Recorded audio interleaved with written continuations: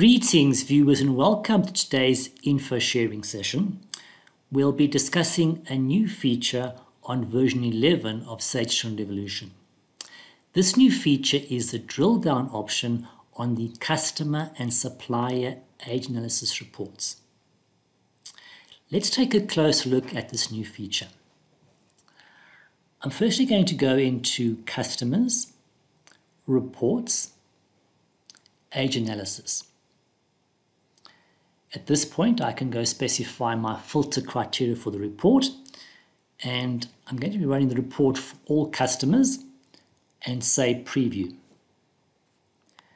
And what we then have is details of our customers and the outstanding amounts per aging period. What you notice is that the values outstanding are displayed in blue, which signifies that they are hyperlinks.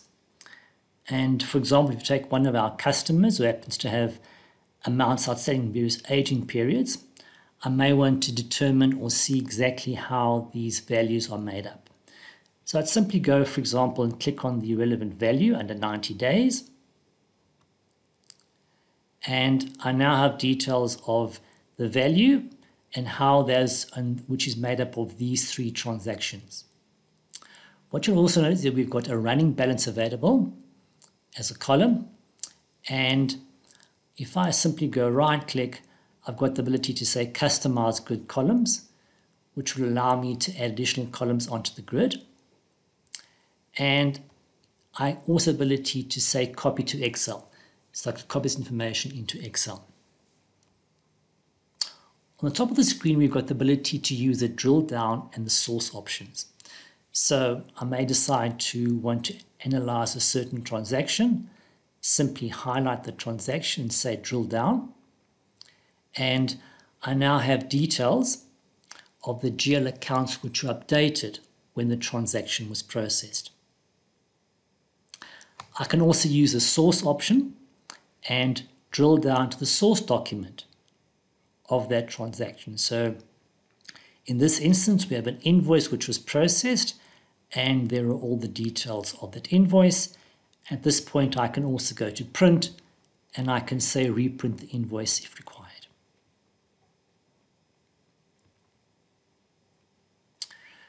We also have the ability to use a feature called Stay on Top. So Stay on Top allows you to open up multiple windows and perhaps compare different types of transactions. So I'm going to say use the Stay on Top feature here and I may want to now analyze details of perhaps the 30 day transaction. So let's go into 30 days. I'm going to click on it.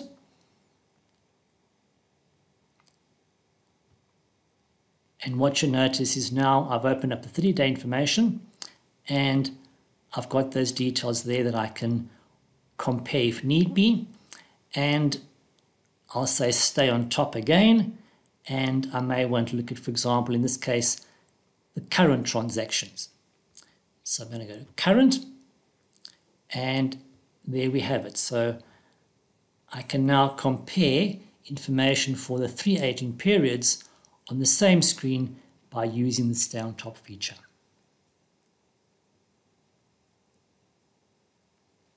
So a very useful way for me to compare different aging periods and view those transactions on the same screen.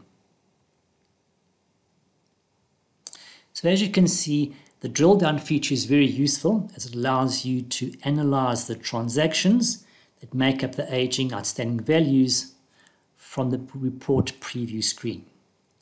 The same feature has been applied to the accounts payable analysis. So I'm therefore going to go into suppliers, reports, age analysis, and once again, I can specify my report criteria, preview the report. I therefore, therefore then have my supply information together with outstanding values per aging period. And once again, I can simply go and do click on the value, do a drill down, and also use the stay on top, drill down source options available if I need to compare information for various aging periods. So as you can see, the new feature is very useful.